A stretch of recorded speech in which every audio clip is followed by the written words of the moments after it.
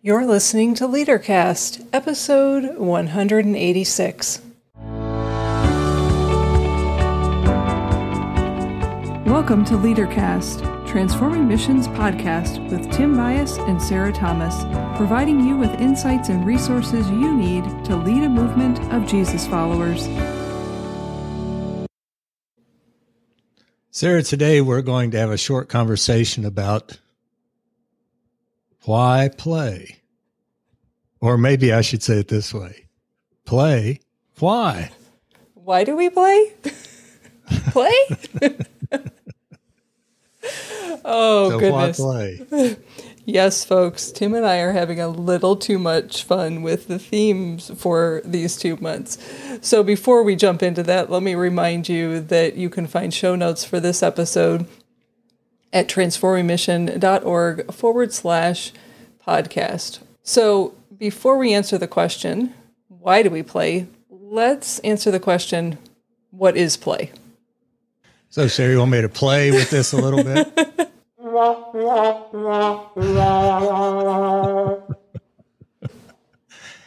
you have too much fun with the sound effects. Yes, I do.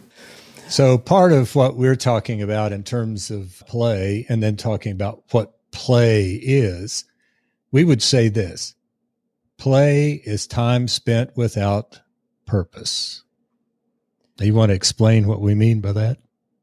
Yeah, so play is doing things just because they're fun and not because they help achieve a goal. And we're going to get to this why, but it's vital to our human development. So, no, did you need that silly sound effect button? No, you didn't. Why did I do it? Because it's fun. So, For you. oh, come on. I'm sorry. Go ahead. So we mentioned this on our last episode at the end. When we think about play, it's really at the core of who we are as creative people, as innovative people, and it can mean a lot of things. So it might mean swimming, or it might mean doing puzzles. Think about the things that you lose track of time and self consciousness, those are the moments that are filled with play. So when you look at your watch and go, or look at your phone in my case, and go, oh my gosh, it's been two hours, that's a moment of play. So in those moments, you might think about them as moments of clearing. That's where ideas are born. Now, if you think about play, whether it's swimming or riding a bike or playing a board game, whatever is play for you, now think about it the world that we live in without play, where there isn't laughter. There's no hide and seek as a kid, no board games, no baseball games or football or soccer, not even lacrosse or running or walking as fun. no card games, no playgrounds, no swimming pools, that all sounds pretty miserable to me. It does to me too. So let's not confine play to vacation or to one specific activity, but instead let's remember that we're designed to play. And now let's answer that question. Why is it, Tim? Why why play? Well, Sarah, you've helped me understand as we've discovered that we play because we're created to play, or we can't be fully human and and competent without play. And maybe from my perspective, it's because it just happens to be fun. Yeah, and and Tim's not just saying those things. Those are three things that Dr. Stuart Brown, who researches play, can you imagine having that job? How fun would that be? You research play. I laughed all day long. yeah. I, I interrupted you. Go ahead. You're on a roll. No, no, it's fine. Let's unpack that just a little bit more. As Tim walked through those, underneath that is the reality is is that play strengthens our mind and our body It enhances the our social interaction and our competencies around social interactions. It provides emotional stability and physical capability. And this one seems like a stretch, but Dr. Brown's research points to this. Play also strengthens our ability to be successful. So, what's happened? Is it that we've we don't play? And so because when I think about those things and I think about the people in my life and the people that we work with, the things that get in our way is we're mentally exhausted, something is physically wrong with us, we're having trouble with relationships and people, um, we're not understanding a social situation, there's not effectiveness. Now, I'm giving you negative examples now, but I'm pointing to those things because could it be that one of the things that is contributing to our decline and the challenges that, that we experience is there isn't that time for rest, relaxation, and what we're talking about today play. And so, in a very real way, we're suffering and we're doing harm to ourselves, which sounds ridiculous when we talk when we're talking about play. But Sarah, I think one of the things that we've done is to uh, put things in compartments in our lives so that work and play are just two different parts of life. And what we're talking about is actually integrating them. Oh, to be a person of integration, integrity, that it that it comes together. One of the questions I've asked myself as I've grown older and matured is that do I feel foolish getting on the floor playing with my granddaughters?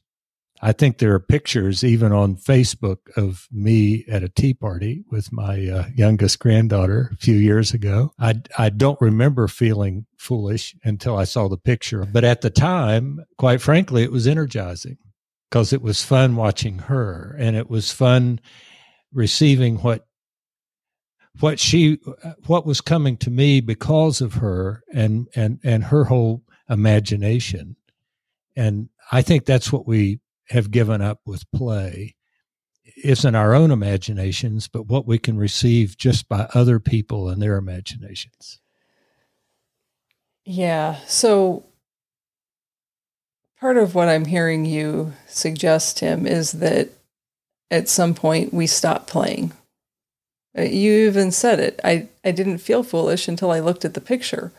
I'm not remembering that picture, but I'm thinking of similar pictures. What runs through my mind when I see pictures like that is what a beautiful picture of a grandfather and a granddaughter. What a fun moment that is. So, why is it that we feel foolish when we see pictures of ourselves doing that? And and I would say, and this is just my opinion, it's nothing more, that at a certain age, we're told to sit down at the dinner table, to get in line, to sit still, to stop playing with your food, just eat. And as you said, Tim, work and play get separated out in our life. And so maybe the homework for this episode is spend some time with a child and remember what it means to play. I think there was something about Jesus saying, unless you, you see the world as a child or as you come as a child. I, I don't think that was anything other than just the just the idea that you could come just as you are and and and you don't have to have all the inhibitions and all the the things that get in the way. And i'm saying this for me because i'm very at my worst i'm very self-conscious. And and so wondering what people might think or how they might feel or whatever. At my worst at my best i can be who god created me to be and i can allow the people around me to become to feed me. And part of that is the play or the interaction of of just us being who we're who we're supposed to be and i think that's part of what the research says isn't it isn't that what you were pointing out yeah one of one of the reasons that we play is, and you're pointing to it, Tim, is it's an important part of belonging. it's the basis of community cooperation and altruism. The thing that comes to mind for for me is because it's summertime and so often in the summertime there are mission trips that happen and when I think back to taking groups of teenagers on mission trips in the summertime they were long days that we were working hard.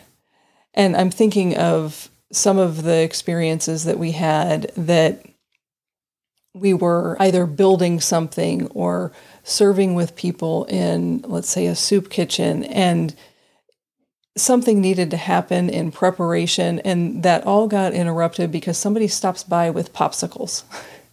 and what happens is everybody stops to eat a popsicle and then what happens is your hands are all sticky and you know people start touching one another because they're teenagers and that's what teenagers do.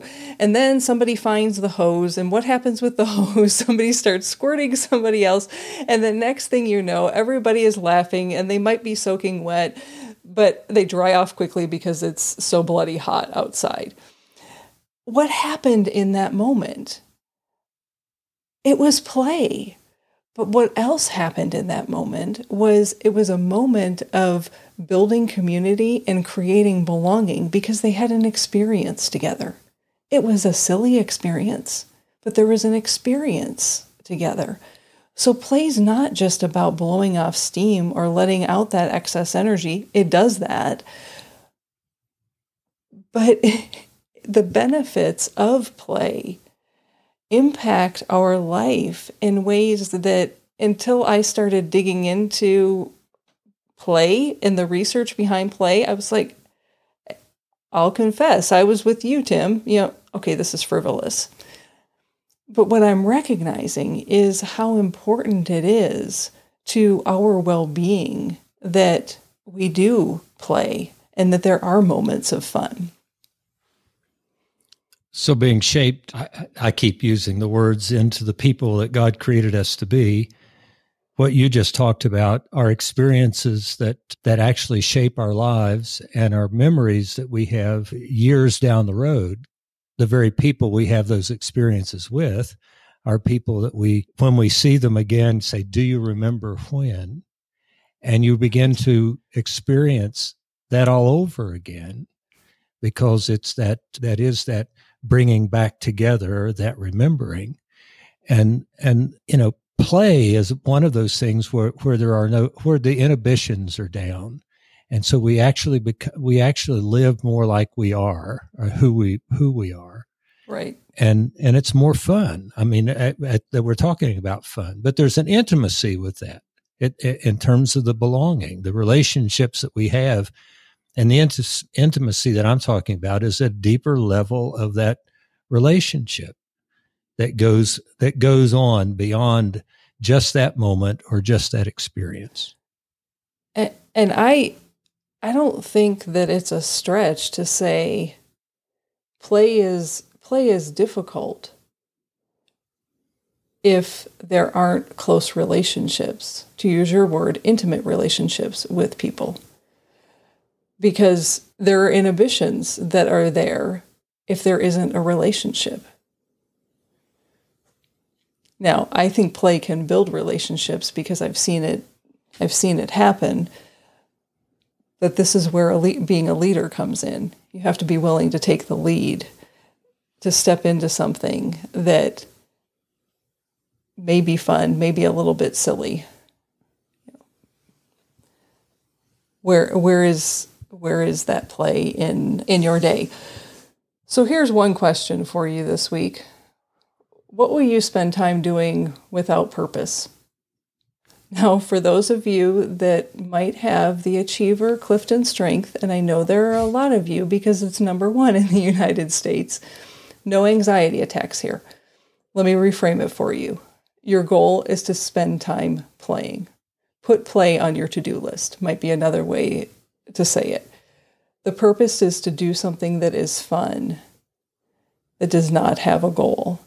And another quote from Stuart Brown is this The opposite of play is not work, the opposite of play is depression. Well, Sarah, before we leave everyone with uh, the write it down and talk it out play assignment, there's an additional benefit to play, and I think we've included that on the website. You you've got yeah, there's a whole a whole list of benefits. So head over to the show notes page, and you will you will see that there. So here's your write it down, talk it out, or just play suggestions for this week. First one is create a playlist. What activities can you do for hours on end? Write it down. So when you come to that moment and think, okay, we need some play, you have your your go-to list. Now, put it on your calendar. Some of you won't need to do this. Many of you will. so that one's optional. Here's the third one include somebody else in it because play is a heck of a lot more fun when you're with people, as we've pointed to in this episode already. Any last thoughts, Tim, before we say goodbye to our folks today? I think, Sarah, the only thing I'd say is I'm having fun, and I hope everyone else is too. Well, once again, you can find. oh, goodness. See, hearing Tim say things like that, it just makes me laugh.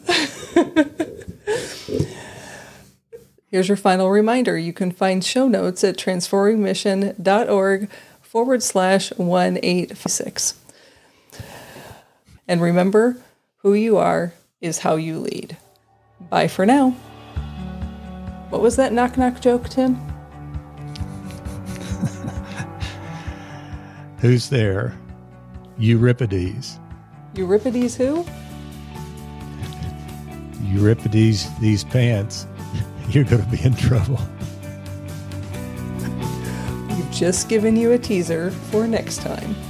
No, we're not spending an entire episode telling knock knock jokes. Tune in and find out what we are talking about. Bye.